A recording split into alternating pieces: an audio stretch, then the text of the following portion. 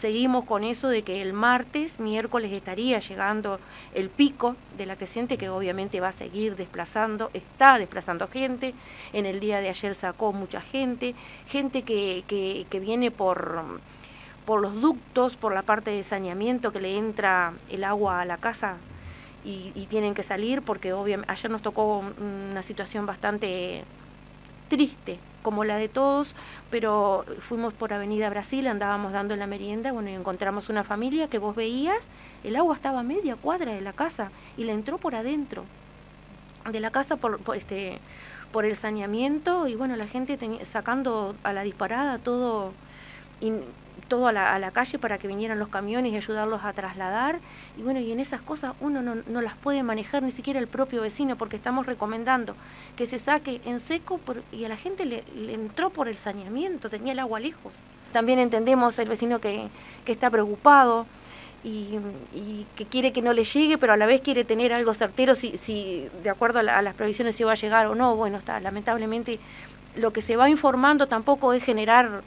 una alarma o una falsa alarma, porque después tenemos el vecino que dice, me dijeron que iba a llegar a, a 8.20, yo alquilé una casa, yo apronté todos mis muebles y no llegó. Entonces ahí tenés que encontrar el equilibrio y siempre tener en cuenta, vecinos, que es la naturaleza y contra la naturaleza no se puede. Desde la parte de alimentación,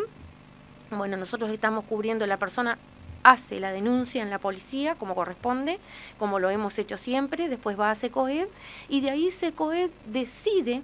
para las poblaciones vulnerables la adjudicación de una canasta de aquellas personas que están autoevacuadas, aquellas que decidieron irse a la carpa y que en general están haciendo ollas, es otro tipo de canasta con verduras y eso que se les da. Eh, también tenemos al mediodía todos los días de la semana, cuando digo todos los días de la semana, es sábado y domingo también, comedor. Están habilitados, tenemos 260 personas inscriptas, pero en realidad están concurriendo unas 200 personas, sumadas a los comensales que ya venían anteriormente. Vemos un comportamiento distinto de la población a lo que es la inundación pasada. Eh, a esta altura del río, la inundación pasada teníamos 1.400 comensales.